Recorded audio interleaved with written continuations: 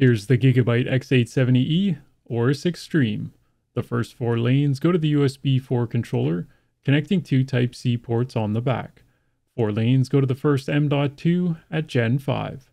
16 lanes go to a PCIe switch, connecting to two by 16 slots. If only the first slot is used, all lanes go to that slot.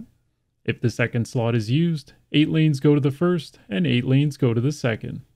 The chipset connects to the CPU with the 4 lane uplink. A second M.2 connects with 4 Gen 4 lanes. A third M.2 connects with 4 lanes at Gen 4. The second chip connects to the first with a 4 lane link, connecting to another PCIe switch.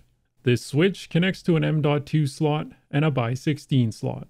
If the by 16 is used, two lanes go to that slot. If the M.2 is used, the by 16 becomes unavailable and two lanes go to the M.2.